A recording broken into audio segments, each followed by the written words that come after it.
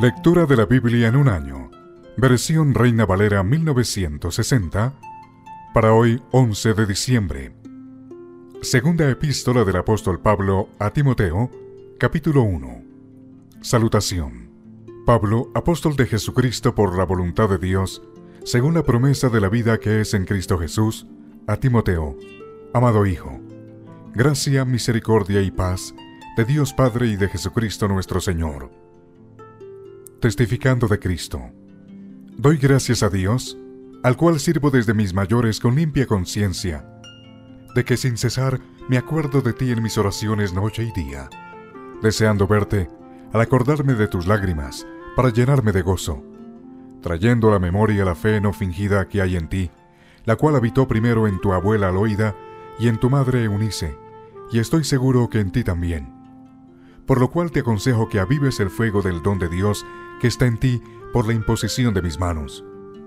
Porque no nos ha dado Dios espíritu de cobardía, sino de poder, de amor y de dominio propio.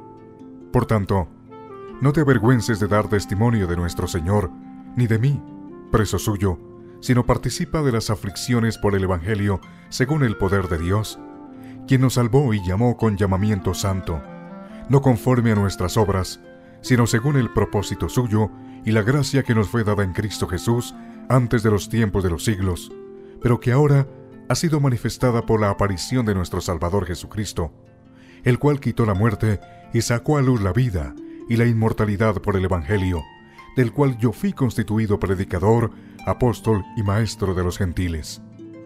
Por lo cual asimismo padezco esto. Pero no me avergüenzo, porque yo sé a quien he creído, y estoy seguro que es poderoso para guardar mi depósito para aquel día. Retén la forma de las sanas palabras que de mí oíste, en la fe y amor que es en Cristo Jesús. Guarda el buen depósito por el Espíritu Santo que mora en nosotros.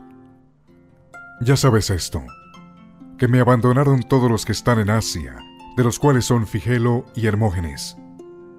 Tenga el Señor misericordia de la casa de Onesíforo, porque muchas veces me confortó y no se avergonzó de mis cadenas, sino que cuando estuve en Roma, me buscó solícitamente y me halló. Concédale el Señor que haya misericordia cerca del Señor en aquel día. Y cuánto nos ayudó en Éfeso, tú lo sabes mejor.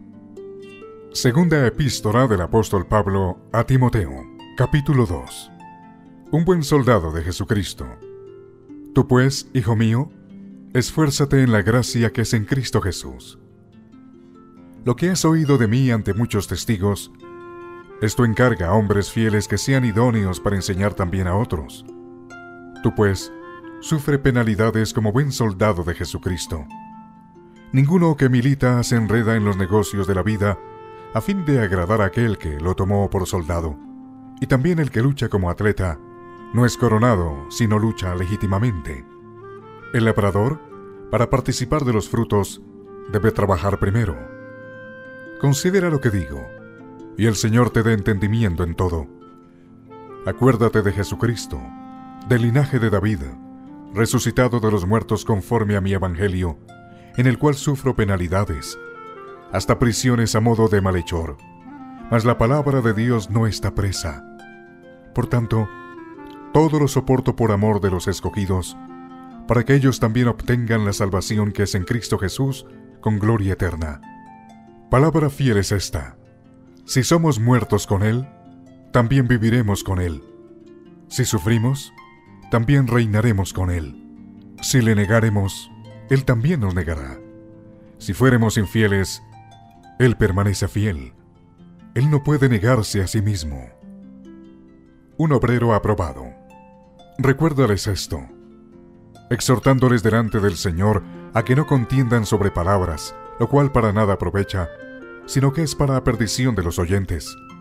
Procura con diligencia presentarte a Dios aprobado, como obrero que no tiene de qué avergonzarse, que usa bien la palabra de verdad. Mas evita profanas y vanas palabrerías, porque conducirán más y más a la impiedad. Y su palabra carcomerá como gangrena, de los cuales son Himeneo y Fileto, que se desviaron de la verdad, diciendo que la resurrección ya se efectuó y trastornan la fe de algunos. Pero el fundamento de Dios está firme, teniendo este sello. Conoce el Señor a los que son suyos, y apártese de iniquidad todo aquel que invoca el nombre de Cristo. Pero en una casa grande, no solamente hay utensilios de oro y de plata, sino también de madera y de barro, y unos son para usos honrosos y otros para usos viles. Así que, si alguno se limpia de estas cosas, será instrumento para honra, santificado, útil al Señor y dispuesto para toda buena obra. Huye también de pasiones juveniles, y sigue la justicia, la fe, el amor y la paz, con los que de corazón limpio invocan al Señor. Pero desecha las cuestiones necias e insensatas, sabiendo que engendran contiendas. Porque el siervo del Señor no debe ser contencioso, sino amable para con todos, apto para enseñar, sufrido, que con mansedumbre corrija a los que se oponen, por si quizá Dios les conceda que se arrepientan para conocer la verdad y escapen del lazo del diablo, en que están cautivos a voluntad de Él. Segunda epístola del apóstol Pablo a Timoteo, capítulo 3. Carácter de los hombres en los postreros días. También debes saber esto, que en los postreros días vendrán tiempos peligrosos, porque habrá hombres amadores de sí mismos, ávaros, vanagloriosos, soberbios, blasfemos, desobedientes a los padres, ingratos, impíos, sin afecto natural, implacables, calumniadores, intemperantes, crueles, aborrecedores de lo bueno, traidores, impetuosos, infatuados, amadores de los deleites más que de Dios, que tendrán apariencia de piedad, pero negarán la eficacia de ella. A estos evita, porque de estos son los que se meten en las casas y llevan cautivas a las mujercillas cargadas de pecados, arrastradas por diversas concupiscencias. Estas siempre están aprendiendo y nunca pueden llegar al conocimiento de la verdad. Y de la manera que Janes y Jambres resistieron a Moisés, así también estos resisten a la verdad, hombres corruptos de entendimiento, réprobos en cuanto a la fe. Mas no irán más adelante, porque su insensatez será manifiesta a todos, como también lo fue la de aquellos.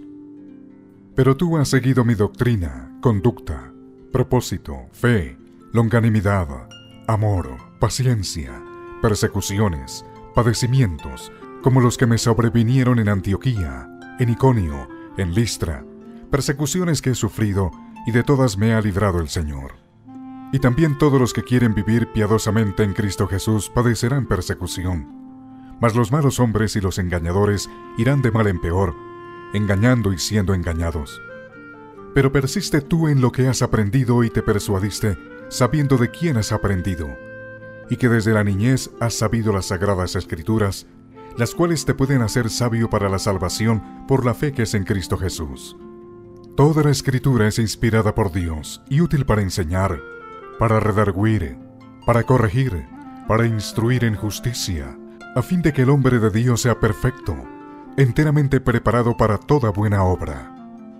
Segunda epístola del apóstol Pablo a Timoteo, capítulo 4. Predica la palabra. Te encarezco delante de Dios y del Señor Jesucristo, que juzgará a los vivos y a los muertos en su manifestación y en su reino, que prediques la palabra, que instes a tiempo y fuera de tiempo, redarguye, reprende, exhorta con toda paciencia y doctrina, porque vendrá tiempo cuando no sufrirán la sana doctrina, sino que teniendo comezón de oír, se amontonarán maestros conforme a sus propias concupiscencias, y apartarán de la verdad el oído y se volverán a las fábulas. Pero tú sé sobrio en todo, soporta las aflicciones, haz obra de evangelista, cumple tu ministerio, porque yo ya estoy para ser sacrificado, y el tiempo de mi partida está cercano. He peleado la buena batalla, he acabado la carrera, he guardado la fe. Por lo demás, me está guardada la corona de justicia la cual me dará el Señor, juez justo, en aquel día. Y no solo a mí, sino también a todos los que aman su venida. Procura venir pronto a verme, porque Demas me ha desamparado, amando este mundo, y se ha ido a Tesalónica. Crescente fue a Galacia y Tito a Dalmacia. Solo Lucas está conmigo. Toma Marcos y tráele contigo, porque me es útil para el ministerio. A Títico lo envía a Éfeso Trae cuando vengas el capote que dejé en Troas en casa de Carpo y los libros, mayormente los pergaminos. Alejandro el calderero me ha causado muchos males. El Señor le pague conforme a sus hechos. Guárdate tú también de él, pues en gran manera se ha opuesto a nuestras palabras. En mi primera defensa ninguno estuvo a mi lado, sino que todos me desampararon, no les he tomado en cuenta. Pero el Señor estuvo a mi lado y me dio fuerzas para que por mí fuese cumplida la predicación y que todos los gentiles oyesen.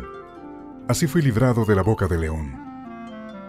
Y el Señor me librará de toda obra mala, y me preservará para su reino celestial.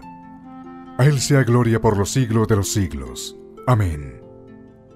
Saludos y bendición final. Saluda a Aprisca y a Aquila, y a la casa de Onesíforo. Erasto se quedó en Corinto, y a Trófimo dejé en Mileto enfermo. Procura venir antes del invierno. Ébulo te saluda, y Prudente, Lino, Claudia y todos los hermanos. El Señor Jesucristo esté con tu espíritu. La gracia sea con vosotros. Amén.